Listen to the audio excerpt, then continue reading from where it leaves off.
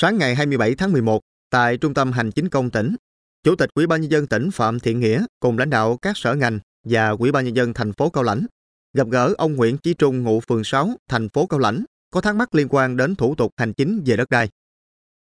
Tại buổi tiếp, lãnh đạo Sở Tài nguyên và Môi trường, Ủy ban nhân dân thành phố Cao Lãnh đã phân tích và giải đáp cặn kẽ về trường hợp của ông Trung.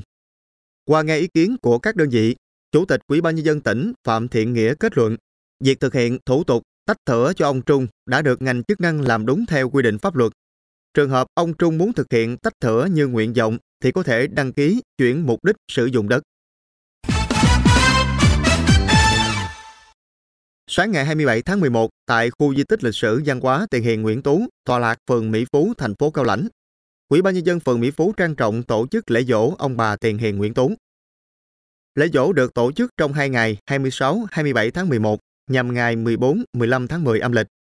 Trong không khí trang nghiêm của buổi lễ, các đại biểu ôn lại tiểu sử và những công lao đóng góp của ông bà Tiền Hiền Nguyễn Tú đối với quê hương, đồng thời viếng dân hương mộ ông bà.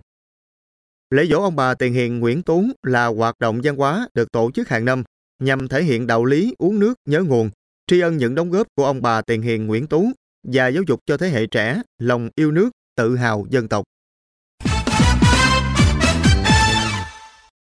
Sáng ngày 27 tháng 11, Sở Nội vụ và Đoàn Thanh niên Cộng sản Hồ Chí Minh tỉnh Đồng Tháp tổ chức khai mạc hội thi trực tuyến tìm hiểu tuyên truyền về cải cách hành chính và chính sách pháp luật về thanh niên năm 2023. Đối tượng tham gia hội thi là cán bộ, công chức, viên chức, người lao động đang làm việc tại các cơ quan đơn vị địa phương trên địa bàn tỉnh. Nội dung thi tập trung vào các văn bản tài liệu về cải cách hành chính và công tác thanh niên. Hội thi diễn ra trong 3 tuần từ ngày 27 tháng 11 đến ngày 15 tháng 12,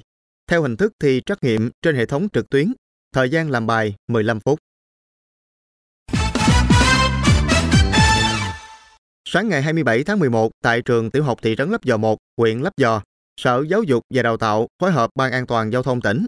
hệ thống HET Tân Kiều tổ chức lễ phát động chương trình trao tặng mũ bảo hiểm cho học sinh lớp 1 năm học 2023-2024 trên địa bàn tỉnh với chủ đề Giữ trọn ước mơ. Năm học 2023-2024, Quỹ ban An toàn Giao thông Quốc gia, Bộ Giáo dục và Đào tạo và Công ty Honda Việt Nam phối hợp triển khai chương trình trao tặng 2 triệu mũ bảo hiểm cho học sinh lớp 1 trên toàn quốc. Tại tỉnh Đồng Tháp, công ty Honda Việt Nam trao tặng 25.329 mũ bảo hiểm cho tất cả học sinh lớp 1 tại các huyện, thành phố trong tỉnh.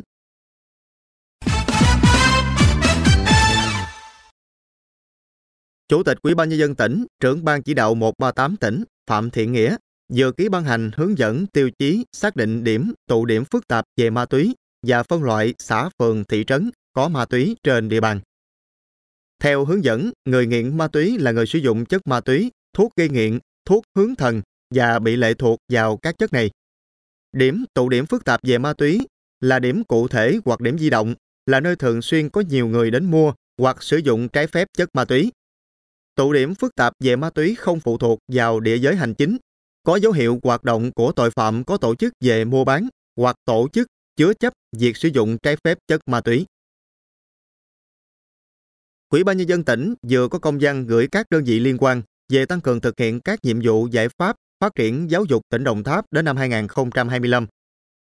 Quỹ ban nhân dân tỉnh yêu cầu Quỹ ban nhân dân huyện, thành phố chỉ đạo các cơ quan chuyên môn rà soát các chỉ tiêu nhiệm vụ trong kế hoạch triển khai thực hiện kế hoạch số 273 về phát triển giáo dục tỉnh Đồng Tháp đến năm 2025.